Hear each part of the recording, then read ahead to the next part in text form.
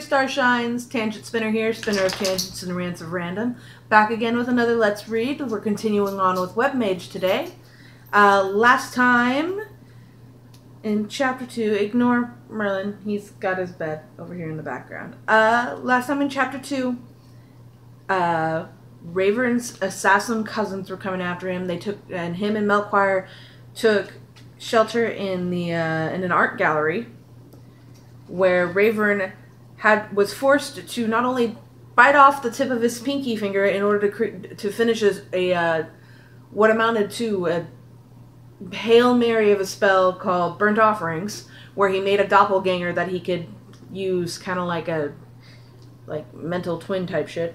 But he had to tap into the primordial chaos force that let rest between the realms, which is really, really, really not a good idea. Imagine Harry Potter Fiend Fire, pretty much. Only he had to channel it through his own body into the doppelganger and a whole bunch of madness. But they managed to get the magical picture portal to work, and uh, he managed to shove himself through with the last of his strength before he passed out from agony. So, that's where we left off. We are now, that was chapter 2, yeah. We're now in chapter 3, and look how much we have left to go. I think there are 27? There are 21 chapters in this, which means we are one seventh of the way through. Uh, like I said, last chapter, well, last couple episodes, these will be shorter videos. I'm gonna take my hair down because it's irritating me now. But um, these will be shorter episodes in the hopes that they stay in sync longer. There. so, without further ado, let's get this way. We'll try to keep it about halfway point on this, and then we'll call it episode part one for chapter three. There will stop on that page. Oh yeah, there's a big space right there, so there's a time skip. So we'll go there. Okay, so chapter three. I don't remember what happened next, but I must have gotten lucky and fallen in the right direction, because I woke up an hour later still among the living. My face was pressed into the ground, and the smell of crushed grass with, grass with just the faintest compost undertone of decay filled my nostrils. I lifted my head and found myself in another world. I lay on a rounded green hill next to a fairy circle made from crushed beer cans. Melchior sat beside me. I looked at his maimed finger, and guilt washed over me. Sorry about the hand, Mel. It's okay, boss. I understand. If that scrawny carcass of yours turned up without mine alongside it, your cousins would never believe they had the real thing. Even with your actual flesh providing the signature, they'd know something was up. It's common knowledge that you couldn't find your ass with both hands on a map without my help. You know what, Mel? Because of your recent service above and beyond the call of duty, I'm going to ignore that rather than erasing your hard drive and starting from scratch like I ought to. The banter helped keep my mind off how how close I'd come to ju- I'd just come to dying. Gosh, boss, you're all heart. I'm glad you think so, because I'm about to put you back to work. I can hardly wait, he replied. Your enthusiasm overwhelms me. First, let me see the finger. He gave me his hand, and I tapped the finger. Good. Melchior. Root access. Authorization code. Antigon. Root access granted. Left hand, uh, left hand slash pinky finger slash first knuckle dot source. I said. Terminate signal. Initiate recovery cycle. Run command. Run command. Root exit. Exiting root. Returning to normal operation. He let out a long sigh, and the tension visibly drained out of him. Oh yeah. Thanks, boss. You're welcome. It doesn't give you the fingertip back, but it'll kill the pain and stop the bleeding. When we have a little leisure and a mainframe access, I'll write you a new one. I wish we could fix mine as easily. The pain, which seemed to have held itself in, in abeyance until that moment, returned then, as though speaking of the injury had conjured it up. My finger wasn't alone. I had an arrow crease, a couple of cracked ribs, and a myriad, a myriad of lesser strains and bruises, but it was the horrible throbbing of my right knee that led the rapidly rising symphony of agony. The scary thing was that I was still pretty shocky. I didn't want to think about how bad I was hurting once I came out of it. Let's move this along. Melchior, better living through chemistry. Execute. Executing. The web goblin's right index claw lengthened and sharpened, taper- shaping itself into a hypodermic needle. While he was doing that, I unzipped the left wrist seal of my of my jacket and pulled it up, baring the flesh beneath. When I was ready, Melchior formed his hand into a gun and jabbed the claw into the exposed vein. When he brought his thumb down and uh, sending morphine, uh, then he brought his th- thumb down, sending morphine shooting into my bloodstream. The dose was insanely high, enough to kill a human, and within seconds I could feel it taking hold. Let it just be said that morphine is not a fun drug to do, guys. Not from personal experience, but from uh, witnessing it. Um, the temporary high is not worth the come down, and the uh, overdosing is not worth it at all. Don't do drugs. Don't. Don't do injectable drugs if you're going to do any kind of drugs at all, at least. Please. God, don't do drugs. Shame. Much better, Mel. I might even live through the next step. The drug pulsed through my system, moving to the rhythm of my heart. It felt like liquid nitrogen, freezing out sensation. With each beat of the cool relief slid a little further through my veins. You'll have to open my pants from an ankle from ankle to hip. Then I'll need a splint.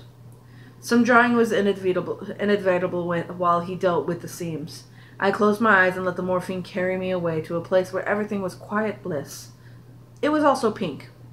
Not my favorite color, but I didn't feel like arguing.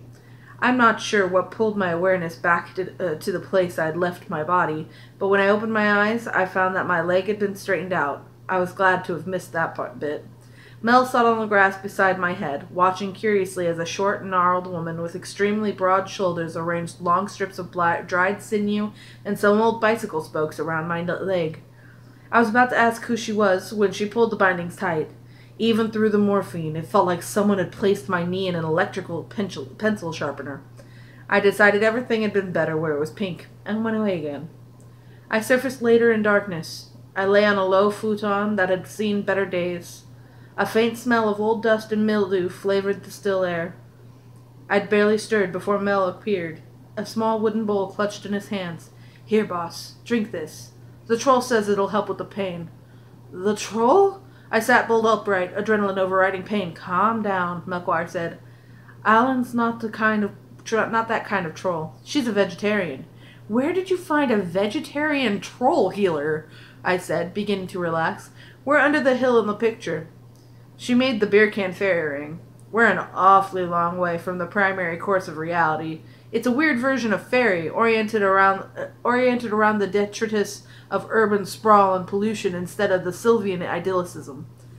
I don't know what goes on in the head of the artist who painted this gate, but I'd rather not meet his subconscious in a dark alley.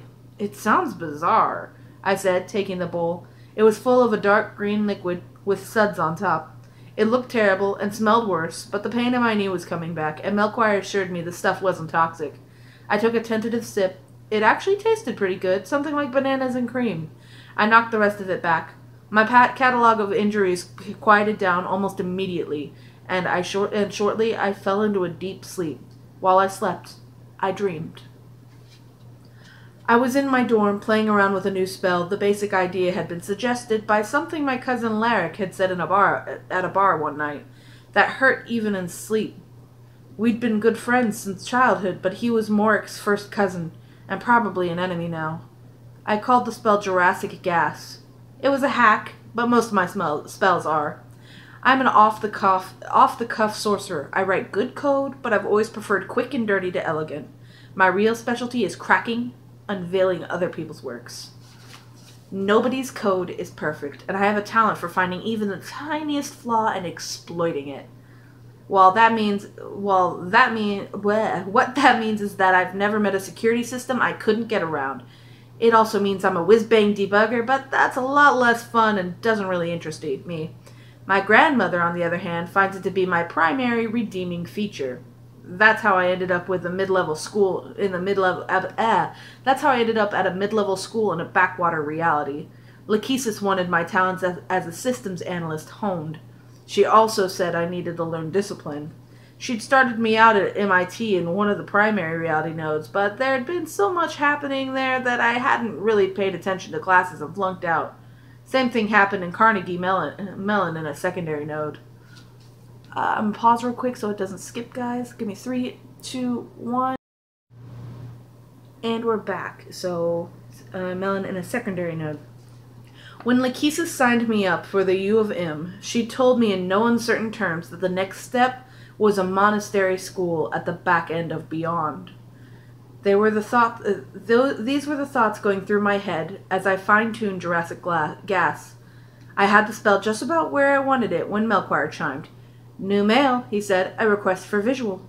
From who? Melchior shivered a bit. Atropos. I quickly reviewed my recent cracking. There'd been one or two forays into Atropos's dements, but only nibbles around the edges. I didn't think she'd had anything on me. Put her through. I replied. If you insist. His expression went far away. Contact. Waiting from for a response from atropos.web. Lock. VTP link in- linking initiated. Melchior opened his eyes and mouth wide. Beams of light lanced out, green, blue, and red.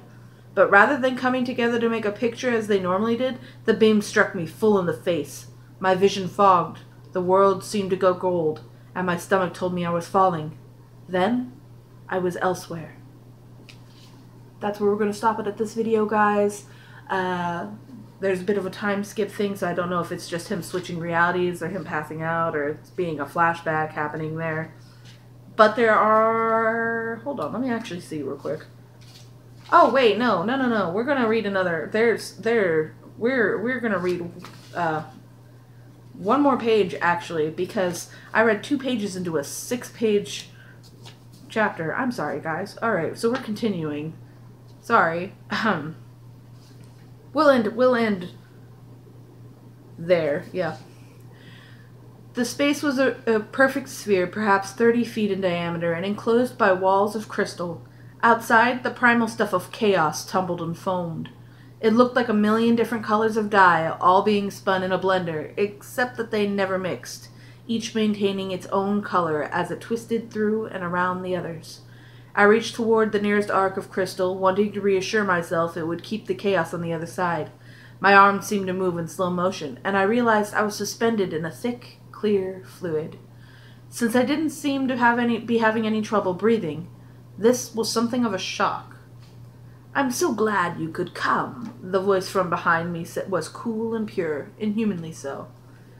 I turned my head and found myself looking into the eyes of fate. Floating a few feet away was Atropos.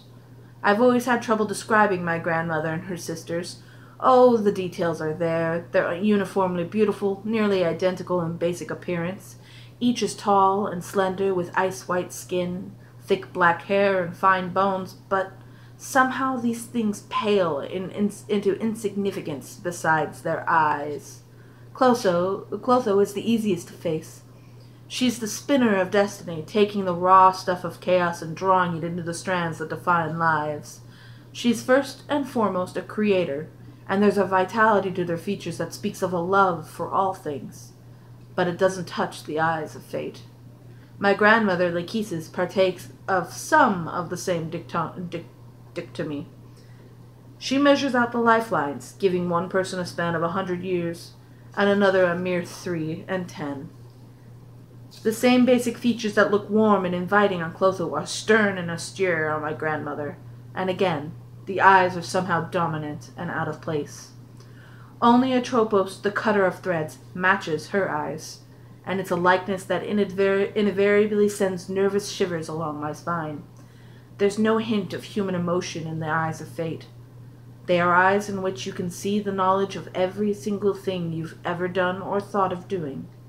Every secret fear that lurks in the shadows of your heart, every petty jealousy, every noble ambition, becomes just another data point in fate's calculation of your destiny.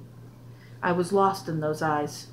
Normally, when I'm going to deal with one of the fates, I have a chance to brace myself. This time, I met Atropos's gaze all unprepared, all unprepared. It was the most frightening experience of my life. I have no idea how long she held me, pinned like a butterfly in a specimen case, but eventually she chose to blink, releasing me. For several minutes, all I could do was breathe. Inhaling and exhaling seemed to take enormous effort. Atropos waited patiently until I had almost recovered. That's where we're going to stop. Uh, we'll continue part two as soon as possible. I'll probably start filming after I finish editing and post this one, just so I have have it ready to go for you guys, all right?